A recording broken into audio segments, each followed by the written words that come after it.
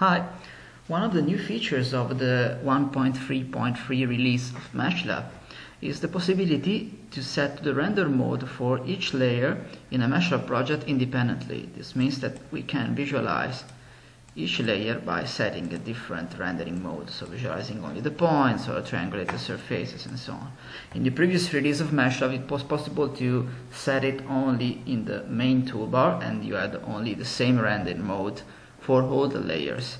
This uh, was sometimes a, a, problem when you had uh, mm, some type of uh, uh project like this one, for example, where the first layer is a point cloud, while the second one is triangulated surface, which is not made by, by a lot of points. So uh, if you have only one possible render mode, if you set the visualization by point, you have uh, the, the point cloud, which is very easy to handle, while the other one, since it's made by not a lot of points, it's not so easy to handle, even like double clicking becomes quite difficult.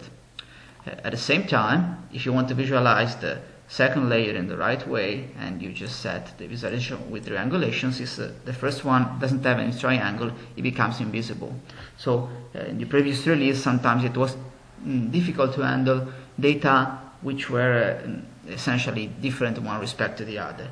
Now having the possibility to set independently the render mode for the different layer makes things uh, easier to handle with the peculiar uh, situations. Uh, one typical example, for example, would be to have models coming from triangulation 3D scanning and uh, something coming from, I don't know, um, time of flight scanning or density rematching.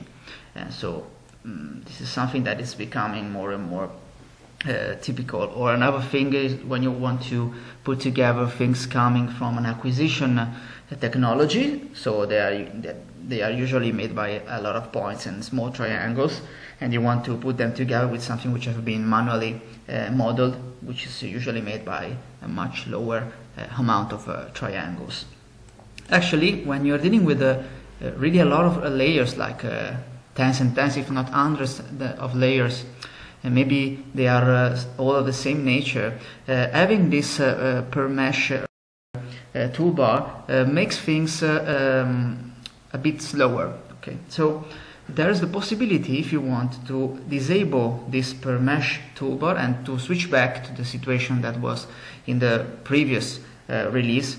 So uh, if you have all data which are exactly the same and you want to handle them at the same time in the same way in rendering what you can do is to go in tools options. Here are related uh, to background and lots of other things that you can try to change for the appearance and also handling of other stuff in MeshLab there's a tutorial a short tutorial about that. Now there is this last option which is called uh, per mesh toolbar.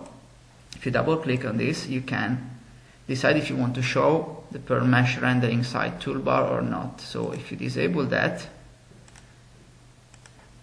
and you close. Now you have the layer dialog uh, as it was before. So you you can set the rendering mode for all the layers at the same time. At any time you can switch back by going back in the options.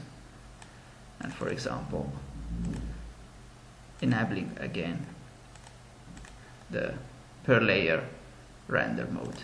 Okay. so this can be useful if you are dealing with a lot of data, a lot of layers, and maybe you're experiencing that, experiencing that MeshLab is, is a bit slower. Uh, one thing that you can do is to remove the per mesh uh, render toolbar and things should be a bit more faster. Thank you.